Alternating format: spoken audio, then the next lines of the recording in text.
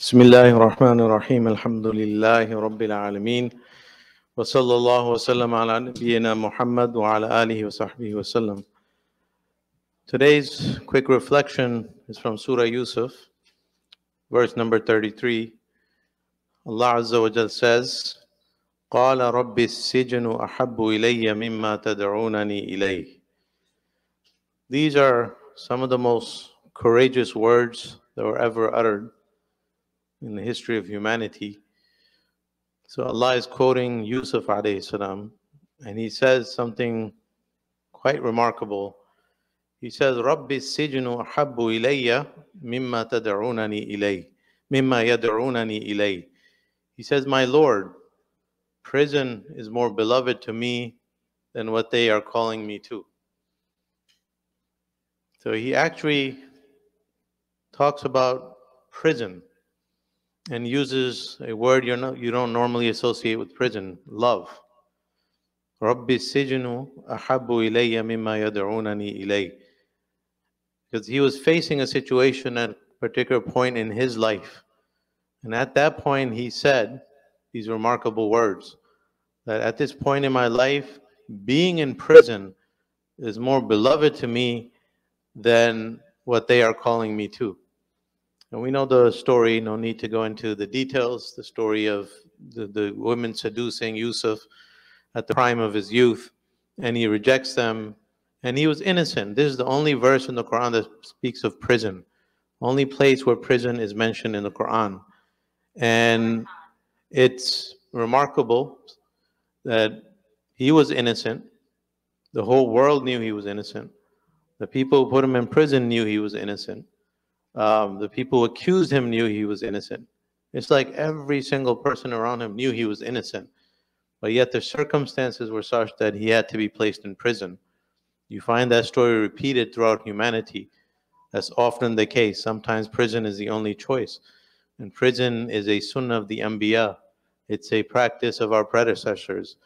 Not that it's something to be aspired to, but it's going to be inevitable uh, in the struggle for truth. If you're going to be believers, you're going to stand for Allah Azza and His way, then sometimes you're faced with these circumstances.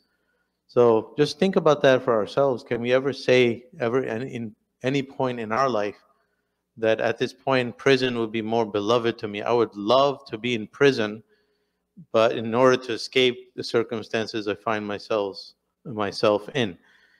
So these are tremendous words of extraordinary courage. And Shaykh al-Islam Ibn Taymiyyah, I want to share his reflections, his tadabbur of this verse. And it's something he analyzes the psychology of Yusuf, and it's something remarkable. It's something that all of us can relate to, and it's something that applies to any human being in adversity. So here he says that here there are two elements here in the life of, uh, or in at this moment of Yusuf's life. One is sabr, and the second is isti'ana.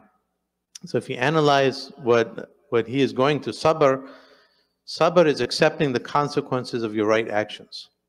That's basically what it is in this situation. You do certain things that you believe are right, you stand by your principles, then you have to be willing to accept the consequences of that. That's sabr. Then isti'ana comes next. Isti'ana is a recognition and commitment that only Allah can help you in the circumstances that you are facing. So these are the two elements that Yusuf salam had in this particular verse.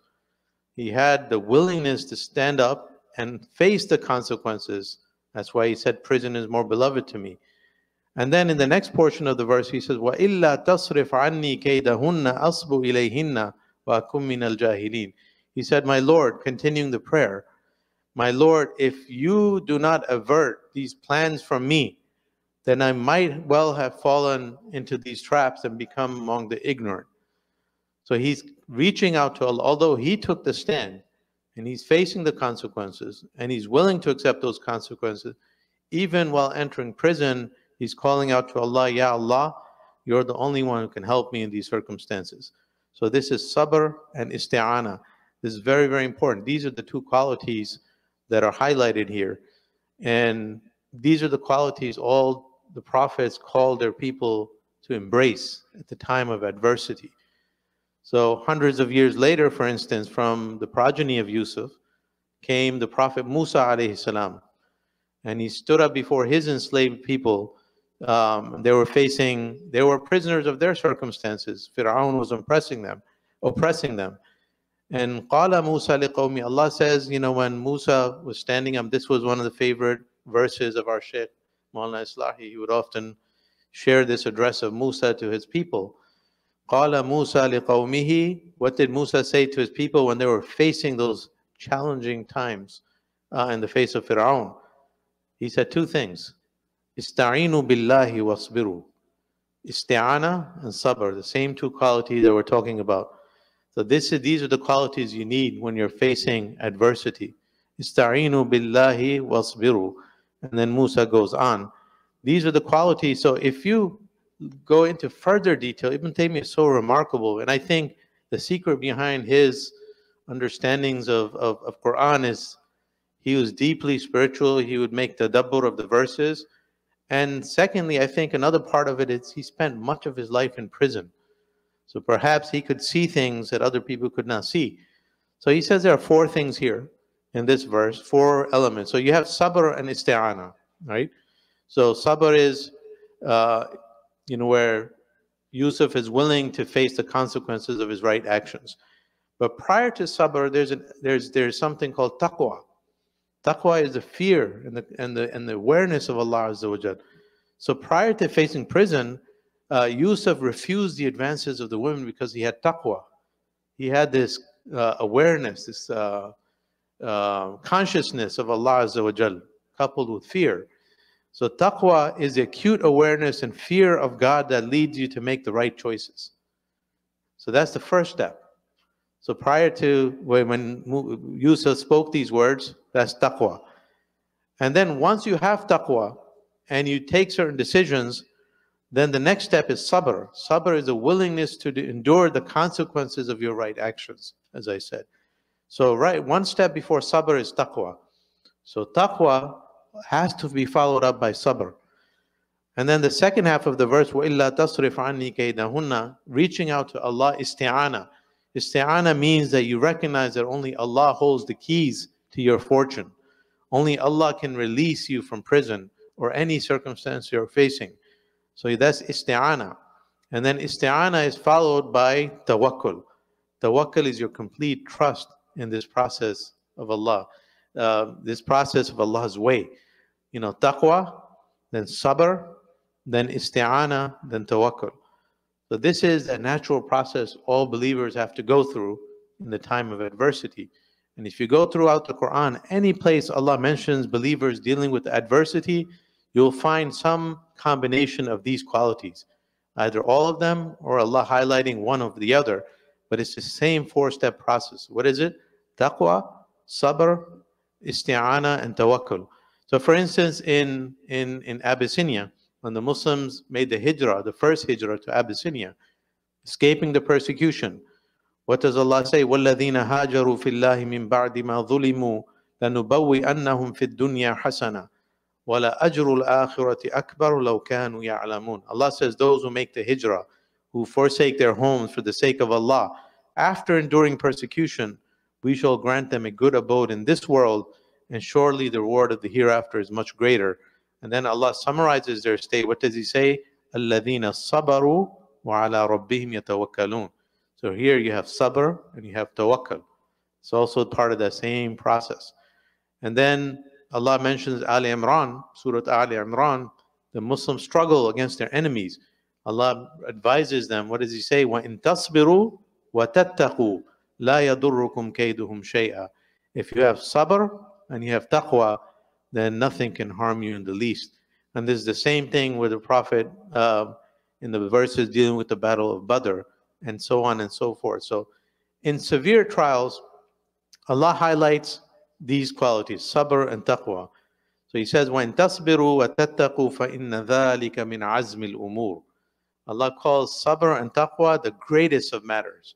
See, these are the great qualities that will allow you to endure the most horrible circumstances in life sabr and taqwa. So, again, to summarize, in the end, Taqwa is the awareness and fear of God that makes you, leads you to make the right choices. And this is followed up by sabr, which is the willingness to endure the consequences of those choices. And then this is followed up by isti'ana, which is you reaching out to Allah. You recognize that only Allah holds the keys to help you and release you from your circumstances.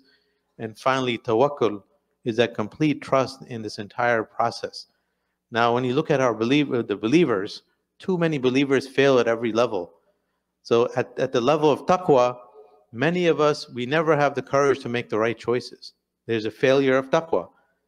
So when, when it comes to making a quick buck, for instance, or you're coming to a career choice, you're not looking at what's haram and halal. You're looking at what's going to bring you the greatest salary. So people cut corners. So there's a failure of the first step in this process, taqwa. And then some people do have taqwa, they make the right choices, but then they have the failure of the second. What's the second? Sabr. So what happens? They take make the right choice, but as soon as adversity hits them, as soon as they're facing any uh, challenging situation, they give up and they go back and they run. This is a failure of sabr. And then many people might pass taqwa, might pass sabr, but then they have a failure of isti'ana because when they're in difficult circumstances, they reach out to other than Allah for help.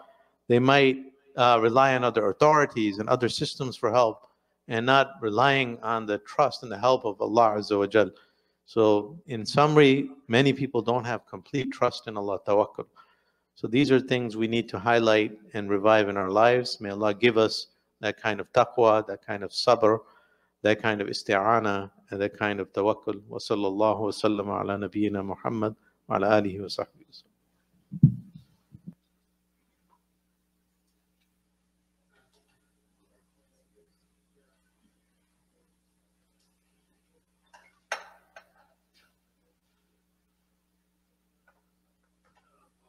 So